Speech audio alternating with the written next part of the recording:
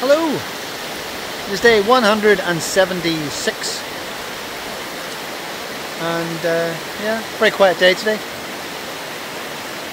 Me and Lucy are just hanging out by the river watching it all drift by. It's a lovely spot here. But yeah, not a lot to report.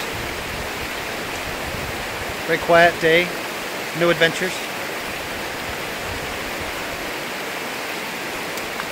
But um, all is well. So listen folks, uh, take care and uh, catch up soon.